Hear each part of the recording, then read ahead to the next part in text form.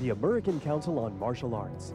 The ACMA is comprised of sports psychologists, child psychologists, motivational experts, physiologists, and fitness experts who are also active martial artists. This program will be a universal reference to educate instructors in universal teaching concepts. This, in turn, will assist consumers in choosing a school. The ACMA program is centered around the ACMA Instructor Certification Manual.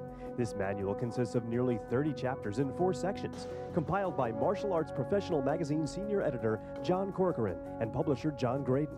The individual chapters were authored by the ACMA Board of Advisors. Section 1 is the science of teaching.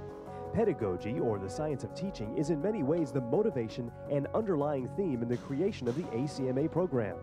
This section provides many hands-on examples and illustrations to help instructors more effectively manage the martial arts classroom. This section will also address areas such as sparring that have, through the years, proved to be problematic from a classroom management standpoint and consequently have resulted in a high number of dropouts.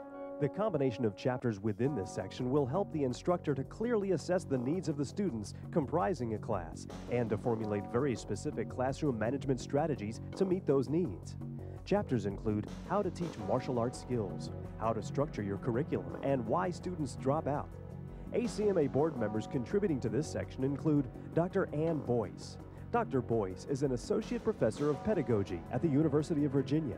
She earned a PhD in teaching preparation pedagogy from Florida State University. Dr. Boyce has co-written two books in areas related to instructional strategies and teacher effectiveness, including Case Studies in Sports Psychology.